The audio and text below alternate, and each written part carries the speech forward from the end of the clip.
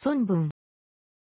孫文、孫文、1866年11月12日、清志道地5年10月発6日から1925年、民国14年3月12日は、中国の政治家、革命家、初代中華民国臨時大総統、中国国民党総理、中国革命の父、中華民国では国府、国家の父と呼ばれる。また、中華人民共和国でも近代革命先行者、近代革命の先人として近年国府と呼ばれる。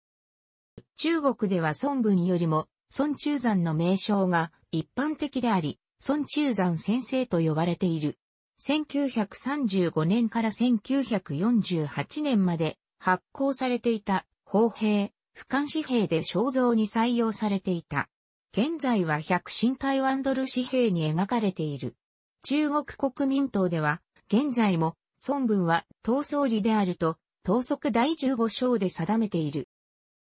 不明は則明、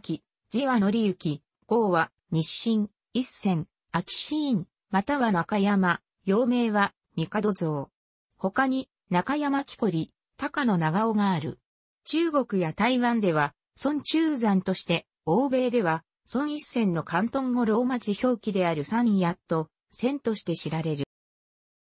孫文は、日本亡命時代には、東京府の日比谷公園付近に住んでいた時期があった。公園の界隈に中山という邸宅があったが、孫文はその門の表説の字書きに入り、自身を孫中山と号すようになった。日本滞在中は中山木こりを名乗っていた。なお、その邸宅の主は、貴族院議員の中山高丸公爵で、高丸の叔母、中山慶子、中山一位局は、明治天皇聖母である。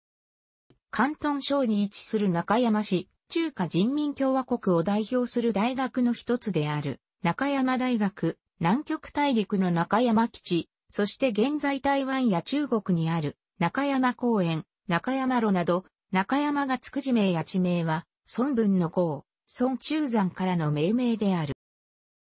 新国関東省、香山県、緑通村、現中山市の農家に生まれる。父は孫堂の川、母は養子、9歳にして父を失う。12歳の時、地域振興の象徴であった高清大王木像を地元の子供らと壊したことから兄の監督下に置かれることが決まる。当時のハワイ王国にいた兄の孫眉を頼り、1878年、オアフ島ホノルルに移住、後に、同地のヨラニスクールを卒業。同市のプナホースクールにも学び西洋思想に目覚めるが、兄や母が西洋思想、特にキリスト教に傾倒する孫文を心配し、1883年中国に戻された。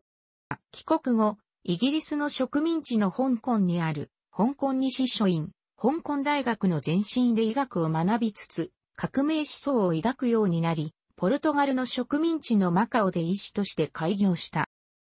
神仏戦争の頃から政治問題に関心を抱き、1894年1月、ハワイで公中会を組織した。翌年、日清戦争の終結後に、広州での武装放棄、公衆放棄を企てたが、密告で頓挫し、日本に亡命した。1897年、宮崎東店の紹介によって、政治団体現用者の遠山光と出会い、遠山を通じて、平岡幸太郎から東京での活動費と生活費の援助を受けた。また、住居である、早稲田鶴巻町の2000平方メートルの屋敷は、犬飼武氏が圧旋した。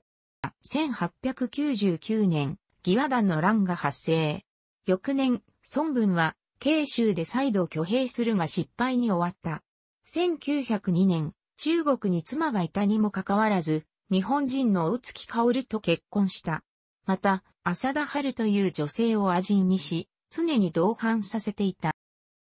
後、アメリカを経て、イギリスに渡り、一時新国公使館に交流され、その体験をロンドン避難記として発表し、世界的に革命家として有名になる。この直後の1904年、新潮打倒活動の必要上、1870年11月、ハワイのマウイ島生まれ扱いでアメリカ国籍を取得した。以後、革命資金を集めるため、世界中を巡った。1905年にヨーロッパから帰国をする際に、スエズ運河を通った際に、現地の多くのエジプト人が喜びながら、お前は日本人かと聞かれ、日露戦争での日本の勝利がアラブ人ら有色人種の意識向上なっていくのを目の当たりにしている。孫文の思想の根源に日露戦争における日本の勝利があると言われる。長い間、満州民族の植民地にされていた漢民族の孫文は独立したい、弁発もやめたいと言ってきた。同年、宮崎東天らの援助で、東京府池袋にて、甲中会、幸福会、花協会を休合して中国同盟会を結成。ここで、東京に留学中の小海石と出会う。1911年10月10日、共進会と同学会の指導した武将放棄が起き、各省がこれに呼応して独立を訴える侵害革命に発展した。当時、孫文はアメリカにいた。独立した各省は武将派と上海派に分かれ、革命政府をどこに置くか、また、革命政府のリーダーを誰にするかで争ったが、孫文が12月25日に上海に帰着すると、革命派は揃って、孫文の到着に熱狂し、翌1912年1月1日、孫文を臨時大総統とする中華民国が南京に成立した。1913年3月、国会議員選挙において中国同盟会を発展させ、孫文が理事長である国民党が870議席のうち401議席を獲得。同党の実質的な指導者である、総教人を総理とした。戦闘艇の大尉と引き換えに、清朝の実力者となった遠征外は、アメリカの政治学者による強権政治、中央集権的な統治の意見を取り入れ、自身の権力拡大を図り、総教人を暗殺し、国民党の弾圧を始めた。これに伴い、同年7月、遠征外打倒の第二革命が始まる。1914年に孫文は中華革命党を組織するが、円は議会解散を強行した。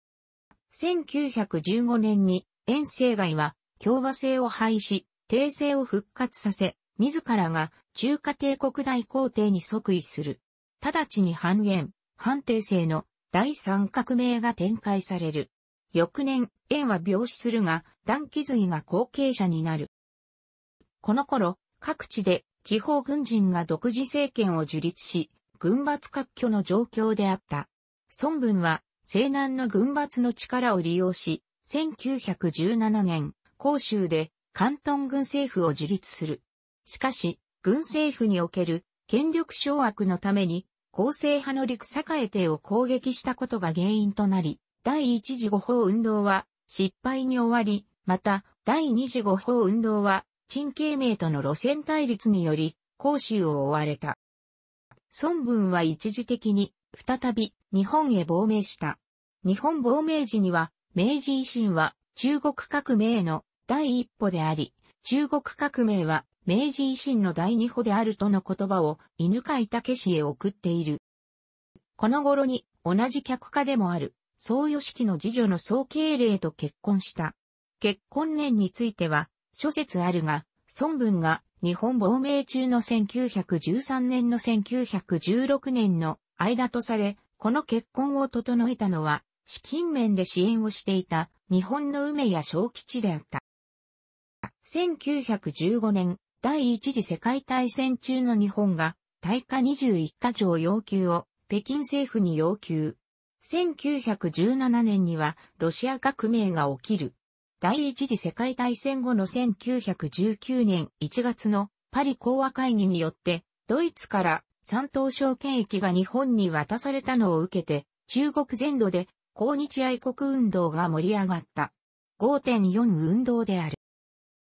この運動以降、中国の青年たちに共産主義思想への共感が拡大していく。陳独州や毛沢東もこの時にマルクス主義に急接近する。この抗日愛国運動は、孫文にも影響を与え、連祖要教、労農扶助と方針を転換した。旧来のエリートによる野合政党から近代的な革命政党へと脱皮することを決断し、ボリシェビキをモデルとした。実際に、後に、ロシアからコミンテルン代表のボロディンを国民党最高顧問に迎え、赤軍にあたる国民革命軍と軍艦学校を設立した。それゆえ、中国共産党と中国国民党とを異母兄弟とする見方もある。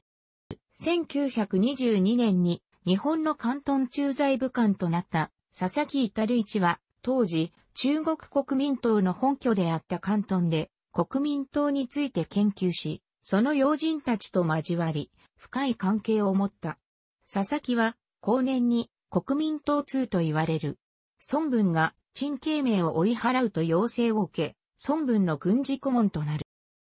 佐々木は孫文の軍用列車に便乗して国民党の戦いぶりを観察している。また、列車の中で孫文から小解析を紹介された。なお、人民服、中山服のデザインも佐々木の考案に基づいたされる。佐々木は1924年に帰国するが、その後も孫文とは交友を続けた。1922年のコミンテルン極東民族大会において、植民地、反植民地における反帝国主義統一戦線の形成という方針採択を受けて、1923年1月26日には、孫文とソビエト連邦代表アドリフ・ヨッフェ共同声明である、孫文、ヨッフェ共同宣言が上海で発表され、中国統一運動に対するソビエト連邦の支援を制約し、ソ連との連帯を鮮明にした。この宣言は、コミンテルン、中国国民党及び中国共産党の連携の布告であった。ソビエト連邦の支援のもと、2月21日、関東で孫文は大元帥に就任、第三次関東政府した。しかし、連祖要教への方針転換に対して、反響的な小解析や財閥との結びつきの強い人物からの反発も強く、孫文の死後に大きな揺り戻しが起きることとなる。なお、孫文の妻でその意志を継いだ、宋慶齢は大陸に泊まり、中国国民党革命委員会を結成して、小解析を裏切り者と攻撃している。1923年6月の中国共産党第3回全国代表大会において、コミンテルン代表、マーリン指導で国境合作が方針となった。コミンテルンの工作員、ミハイル・ボロディンは、ソ連共産党の路線に沿うように、中国国民党の再編成と強化を援助するため1923年に中国に入り、孫文の軍事顧問、国民党最高顧問となった。ボロディンの進言により1924年1月20日、中国共産党との第一次国境合作が成立。軍閥に対抗するための素地が形成された。候補軍艦学校も設立され、赤軍にあたる国民革命軍の組織を開始する。1925年には、ソビエト連邦により中国人革命家を育成する機関を求める孫文のために、モスクワ中山大学が設立された。1924年10月、孫文は北上宣言を行い、全国の統一を図る国民会議の招集を訴えた。同11月には日本の神戸で有名な大アジア主義公演を行う。日本に対して西洋波動の倉庫となるのか、東洋王道の守護者となるのかと問い、欧米の帝国主義に対し東洋の王道、平和の思想を説き、日中の友好を訴えた。この頃より孫文は癌に侵されており、1925年、有名な革命なお未成功、同志なおす努力、革命なお未だ成功せず、同志よって、すく努力すべしとの一節を遺言に記して、実際には、王長明がそうした文案を孫文が了承したもの、療養先の北京に隠しし、南京に葬られた。その巨大な墓は中山陵と呼ばれる。レースを北京より南京城外の中山陵に移すにあたり、31日、国民政府中央東部で国別式を行い、国賓の礼をもって都市した犬飼武氏が祭文を朗読。霊柩は犬飼武氏、遠山光の両名が先発して迎え、イタリア主席公使と、小海石と共に病後の墓の棺側に立った。精神的、政治的に主中であった孫文没後の国民党は混迷し、孫文の片腕だった両中外は暗殺され、孫文の妻の総敬礼は国民党を去り、小海石と王長明は対立、最高顧問ボロディンは解雇されるなどした。以降、小海石が権力基盤を拡大する。孫文の死後に、上海で発生した5.30事件を背景にして、王長明は、関東国民政府を樹立。1926年7月には、約10万の国民革命軍が組織される。総司令官には、小海石が就任し、孫文の遺言でもあった北伐を開始した。1927年、小海石の上海クーデターにより国境合作は崩壊。国民党は北伐を継続し、1928年6月9日には、北京に入場し、北京政府を倒すことに成功した。保坂正康によれば、宮崎東天や山田義正、山田淳三郎らが、孫文の革命運動を援助した理由の一つは、明治維新、または自由民権運動の理想が、日本で実現できなかったことの代償であったという。しかし、孫文自身も1919年に次のように発言している。また1923年には次のように発言している。このように明治維新への共感に基づき非中の連携を模索した孫文にとって日本による大化21か条要求は維新の志士の抱負を忘れ中国への侵略政策を進展させることであった。孫文は決して民主制を絶対視していたわけではなく、中国民衆の民度は当時まだ低いと評価していたため民主制は時期尚早であるとし、軍政、君政、県政の三段階論を唱えていた。また、その革命法略は辺境を重視する根拠地革命であり、総教人らの唱える超高流域革命論と対立した。また孫文はアメリカ式大統領制による連邦制国家を目指していたが、総教人は議員内閣制による統一政府を目指した。このように、孫文は終始革命運動全体のリーダーとなっていたのではなく、新国家の方針をめぐって、総教人らと争っていた。三民主義の一つに民族主義を掲げ、旗以来万里の頂上の内側を国土とした漢民族の国を再建すると訴えていたが、満州族の清朝が倒れると、清朝の藩都である満州やウイグルまで領土にしたくなり、民族主義の民族とは、漢とその周辺の語族の共和を言うと言い出した。しかし、この語族共和論は、すべての民族を中華民族に同化させ、融合させるという思想に変貌する。1921年の講演、三民主義の具体的実施方法では、満、蒙、海、蔵を我が漢族に同化させて、一大民族主義国家となさねばならぬと訴え、1928年には、熱下、チャハルのモンゴル族居住地域、大見、西高のチベット族居住地域をすべて小生へと移行させ、内地化を行う。孫文は生前、日本人とも幅広い交友関係を持っていた。犬飼武の仲介を経て知り合った宮崎東天や遠山光、内田良平らとは、思想上も交友し、資金援助を受けてもいた。また、実業家では、松方幸次郎、安川慶一郎や、株式相場氏の鈴木久五郎、梅や小吉からも、資金援助を受けている。日本滞在中に、日本人女性と結婚して、孫文に非常によく似た容姿の娘を設けたが、帰国後に母子に対して、経済的な援助を一切行っていない。他にも日本陸軍の佐々木至一が軍事顧問にもなっている。他、南方熊楠とも友人でロンドン亡命中に知り合って以降信仰を深めた。また孫の自伝、建国法略の文書中では、犬飼武史、平山天音、大石正美、尾崎幸夫、添島種臣、遠山光、平岡幸太郎、秋山定介、中野徳次郎、鈴木久三郎、安川慶一郎、大塚慎太郎、久原房之助、伝吉正、宮崎虎蔵、当店、菊池良一、茅野長近、添島義和、寺尾徹の名前を列挙し、深く感謝の意を表している。孫文の評価は一定していないのが実情である。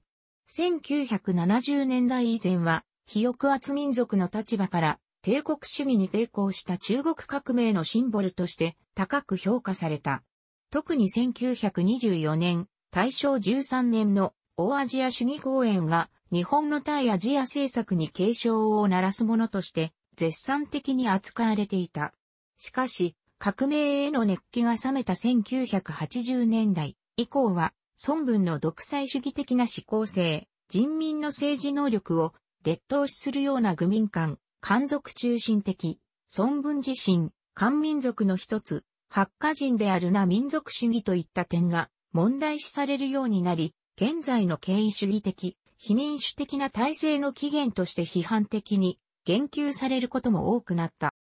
孫文の評価を難しくしているのは、民族主義者でありながら、まだ所有すらしていない、国家財産を抵当にして外国からの借款に頼ろうとしたり国籍を変えたり、革命家でありながら、しばしば軍閥政治家と手を結んだり、最後にはソ連のコミンテルンの支援を得るなど、目先の目標のために短絡的で主義主張に反する手法に出ることが多いためである。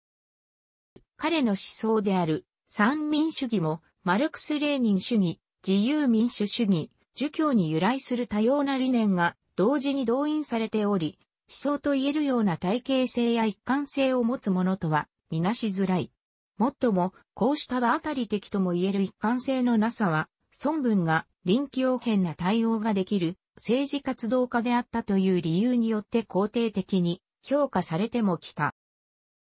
孫文には中国の革命運動における具体的な実績はそれほどなく中国国内よりも外国での活動の方が長い。彼の名声は何らかの具体的な成果によるものというより、中国革命のシンボルとしての要素によるものと言える。孫文の活動した時代を扱った中国史研究所でも、ほとんど言及がないものも少なくないが、これは資料の中に孫文の名前が登場しないという単純な理由による。楽しくご覧になりましたら、購読と良いです。クリックしてください。